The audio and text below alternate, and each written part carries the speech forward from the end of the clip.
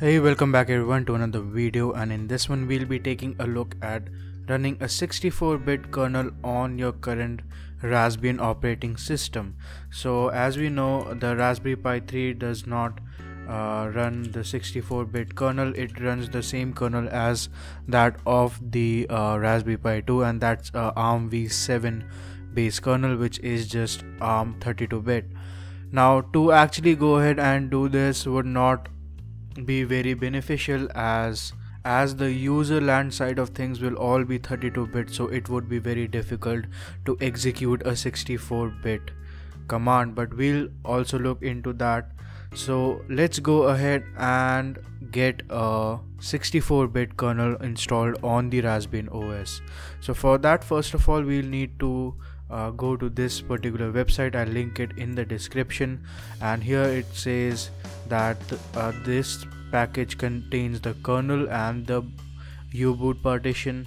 So we'll just uh, copy its link ad address and go to our terminal and just type in wget and paste the download link and press enter so of course downloading that particular file it will give us the kernel as well as our third stage bootloader that is required to boot this particular kernel. So we'll just wait for it to finish downloading. Now uh, what we need to do is open up uh, the file manager and I'll make it as less uh, requiring of any sort of command line and more GUI based as possible uh, so we'll just uh, extract here. We'll open it with uh, archiver. And once it's done we can see uh, two folders inside the main folder and that's boot and lib. We'll take both of them and uh, copy them outside one by one.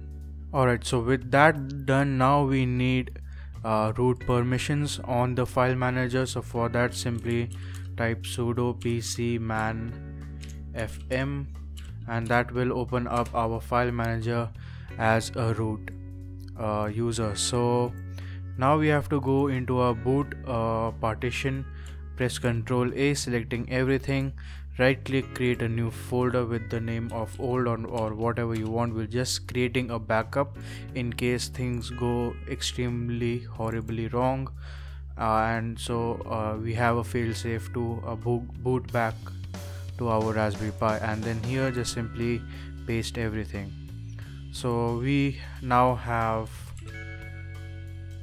now we can safely delete uh, everything else and then go ahead to our home pi folder. And here we have the boot folder. Now in the boot folder there's firmware.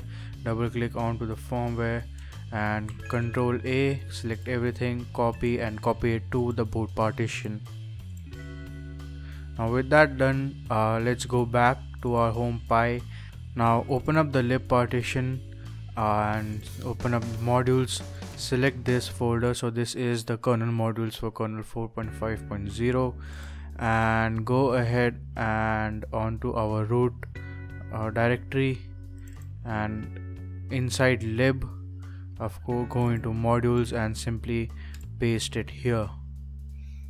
Now again go back to our pi home uh, folder go into lib go into firmware go into B, bcrm copy both the files and then go back to the root folder and lib firmware brcm and paste them and overwrite the files. So with that done simply reboot the raspberry pi and you will have a 64 bit kernel. So let's do that now one thing to note while the Raspberry Pi is booting with the 64-bit kernel is that it's going to take a very long time. And since the kernel is not really optimized for the Raspberry Pi 3 it will actually be a lot slower uh, than the actual Raspberry Pi 32-bit kernel which is probably uh, optimized for the hardware.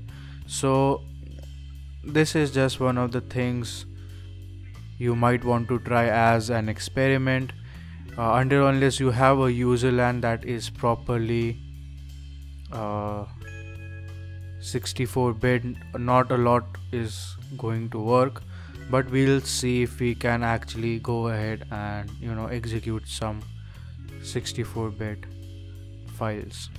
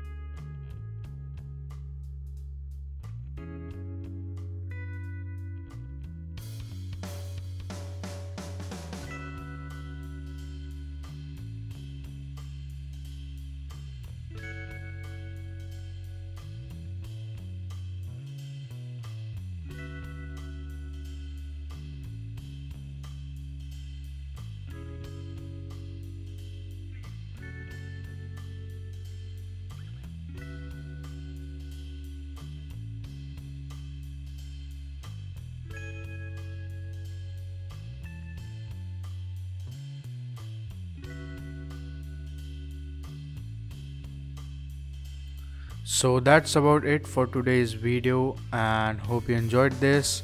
Please like share and subscribe and i will see you guys in the next one